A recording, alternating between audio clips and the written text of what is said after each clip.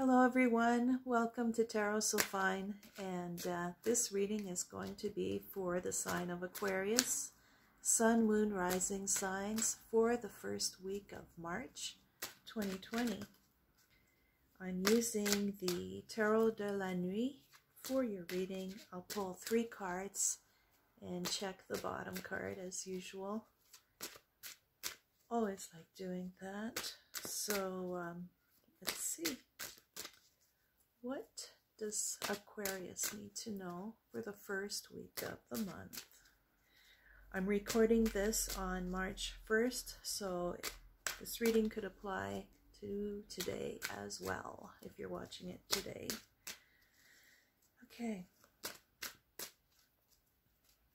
What does Aquarius need to know? Wow.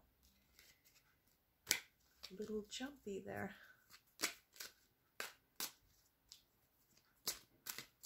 Aquarius.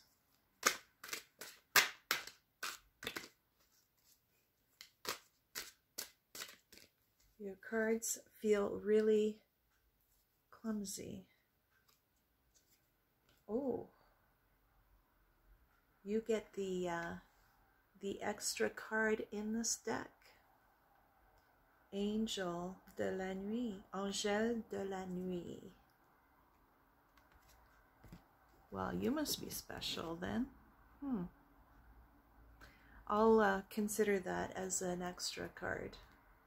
Okay, so your first card is uh, Four of Pentacles. Isn't that beautiful?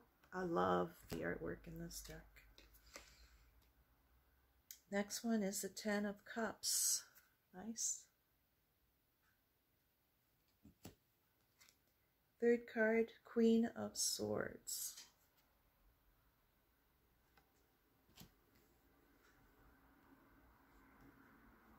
Bottom card, the Emperor.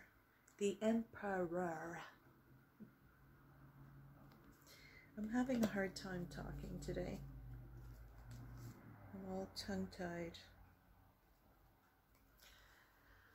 Okay.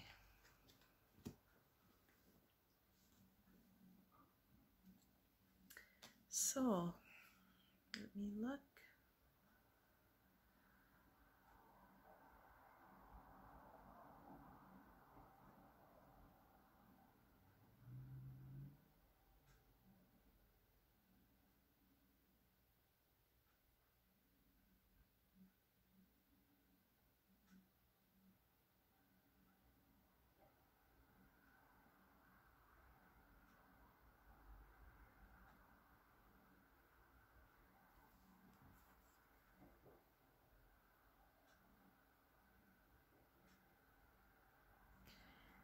The Queen of Swords in this deck is not like other Queen of Swords. She doesn't come across as uh, ready to strike with her sword. She seems humble or um, submissive. And when I had it on uh, spread out here, it's interesting. It's like the emperor is looking at her. And the emperor, I'm having a really hard time saying the, oh, maybe I should say it in French. The empereur seems easier.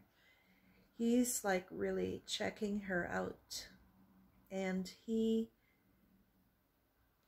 he is someone who holds a lot of power.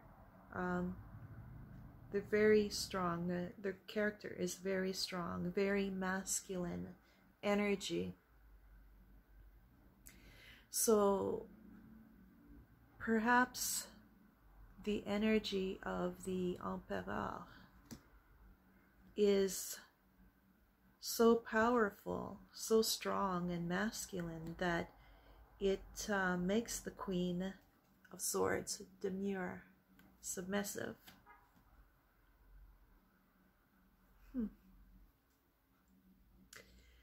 Uh,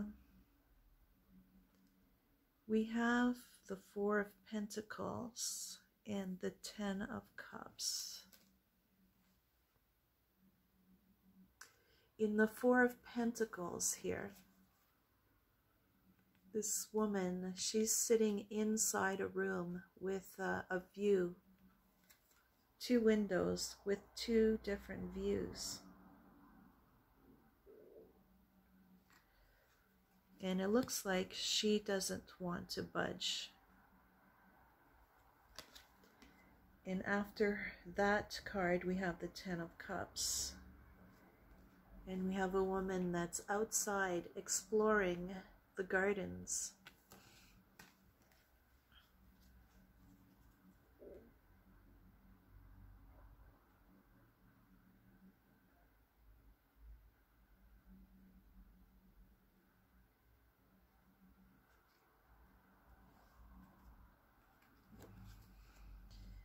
I feel like someone needs to come out.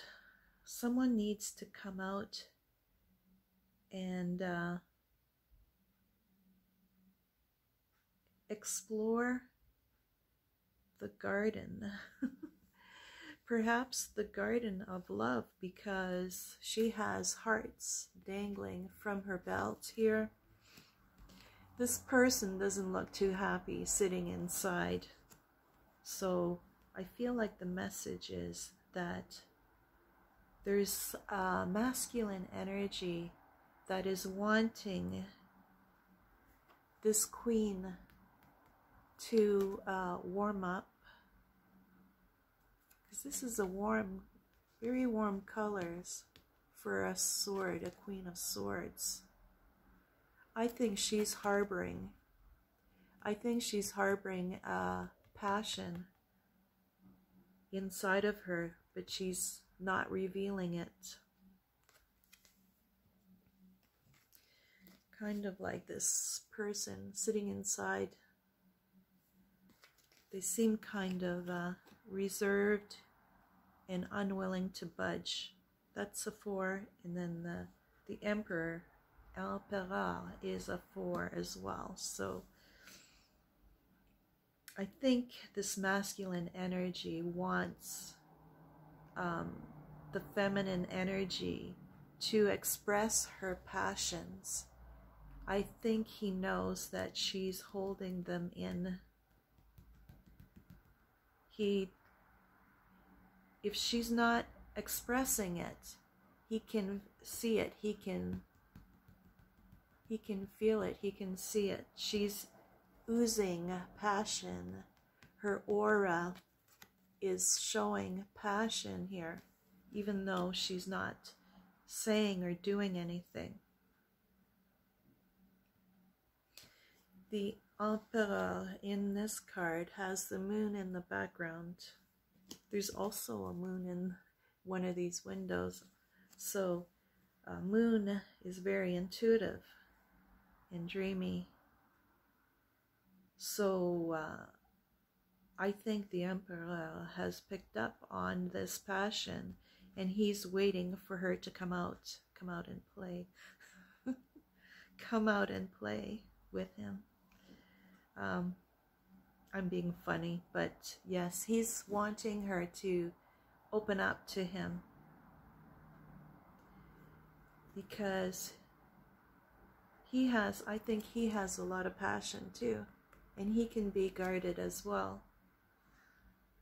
But he's noticed, he's noticed her. It's almost like she has a scent on her that he's he's sniffing out. I'm saying that because there's flowers in the garden.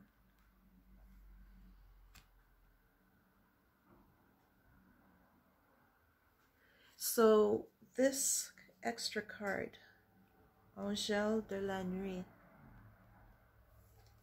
it talks about uh, someone who's went through very difficult time and the card is saying that you don't need to worry anymore because we have your back.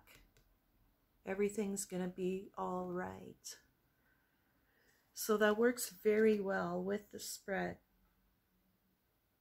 This card is saying that whoever the female energy, I think it's more the female energy, but I think the emperor too, but I think he's he can handle this. He's just waiting for the sign from her, the go ahead.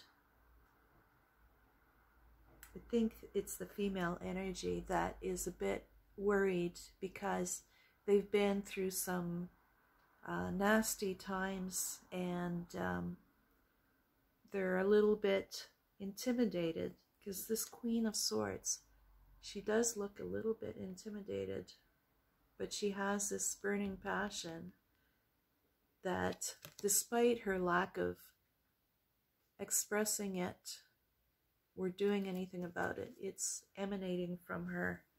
And he has definitely taken notice.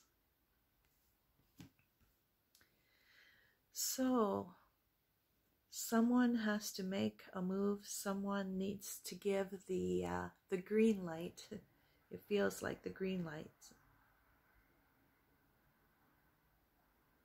And then from there, everything will be just fine. So that's what I get for the sign of Aquarius. Um, I, I hope you got something out of that and uh, leave me your comments. I like to read your comments. And uh, like, share, and subscribe to my channel. I would really appreciate that. And uh, we'll see you for the following reads. Bye for now.